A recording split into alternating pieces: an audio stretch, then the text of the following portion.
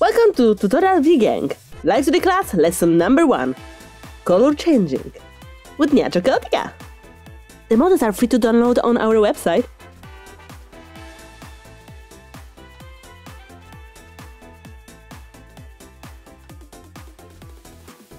Now, time to start!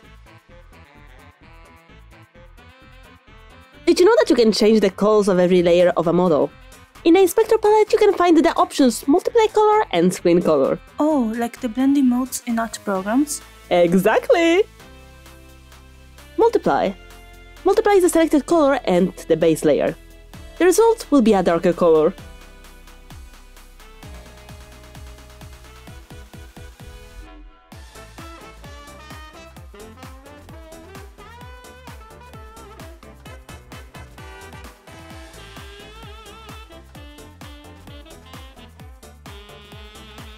Screen is the opposite effect of the multiply mode. It inverts the layer's colors and multiplies with the color selected. The resulting color will be brighter than the original ones. A fast tip, if you want to change the eye colors, you can use a combination of both modes.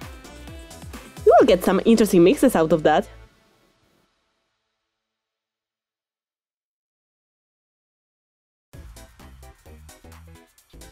Now it's time for something fun. You know that you can bind the colors to parameters. You can use that to create LEDs, hue changing items, and much more. Let's see how to set it up. Time to create your parameter. How to use those parameters? Well, we'll go into details in the future classes, when we will rig the clothes. Add the keyforms to the parameter. Each keyform can have different colors. Oh, parameters? Uh, keyforms? I guess in the next class we'll talk about What? Live2D terminology and tools.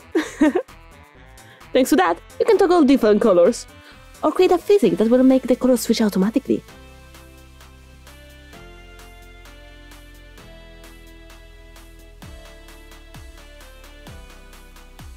You can change the colors of more than one layer at the same time, you know? It's very useful when changing parts with numerous layers such as hair, eyes, body in general. It is pretty easy. Select the color you want and copy the color code. You're gonna need it in a second.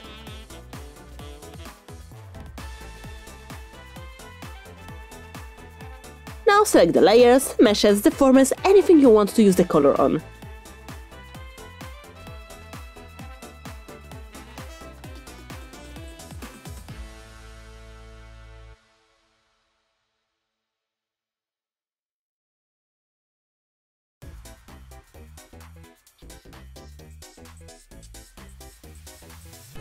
Once you select them all, just paste the color code in the right place and press enter.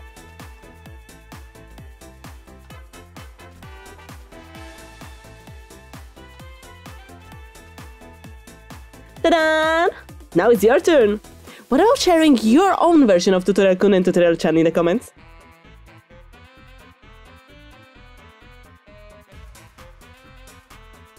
Well, for today, that's all. See you on the next video. Sayonara!